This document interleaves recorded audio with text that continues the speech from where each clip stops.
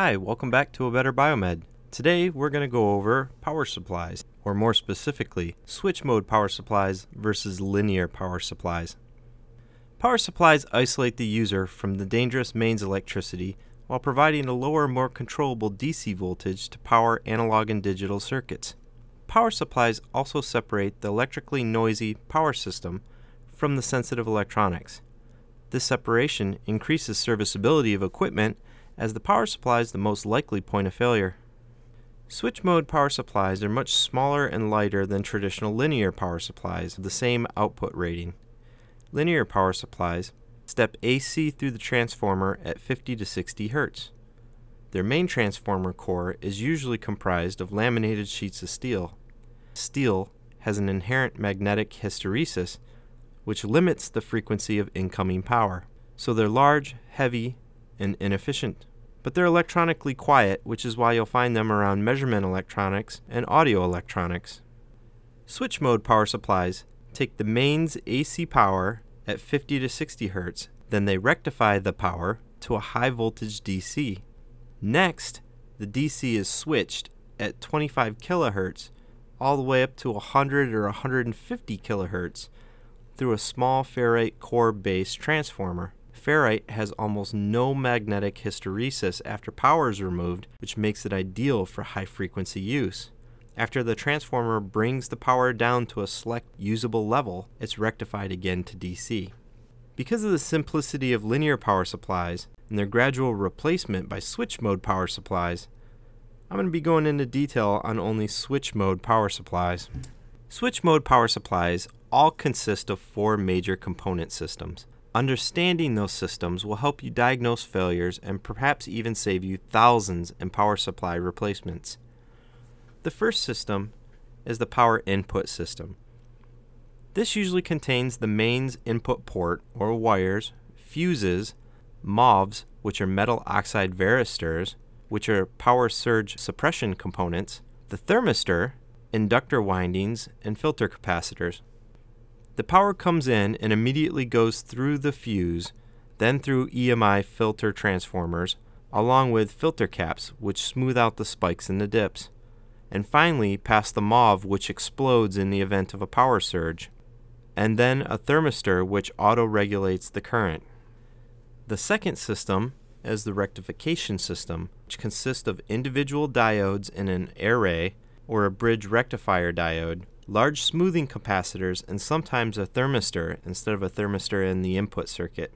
The power comes into the rectifier as an AC sine wave then exits the rectifier as a high voltage DC ripple. This ripple DC is smoothed in the smoothing capacitors, then exits on the high voltage DC power rail.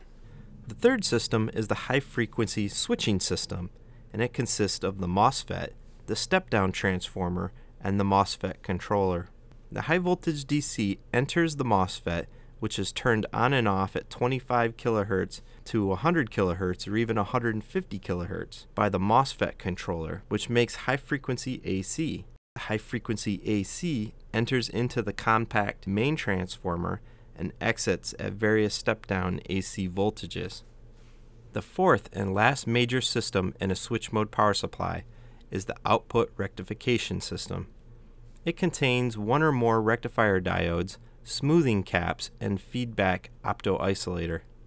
The lower voltage AC enters a diode and exits as low voltage DC ripple. The DC ripple is smoothed through the smoothing capacitors and is fed to both the output port and the opto-isolator feedback loop.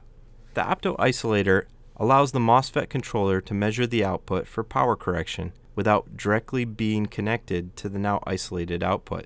Some power supplies have a standby power system which provides a low voltage DC to power a remote control detect or power button power on function. TVs, audio equipment, and PC power supplies are some of the main examples.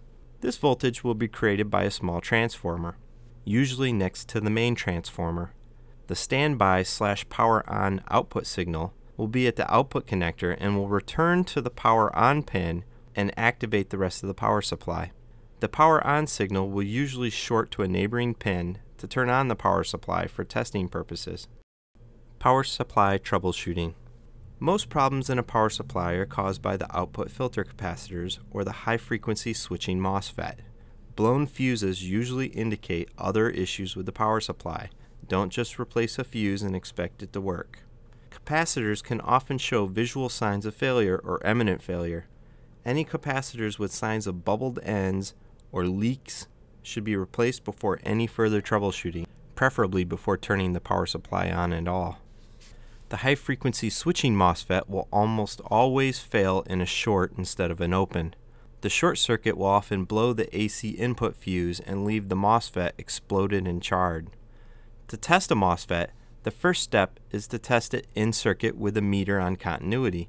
No legs of the MOSFET should have low resistance or a short. If anything less than 5000 ohms is detected, the MOSFET needs to be removed from the circuit and tested alone for a short.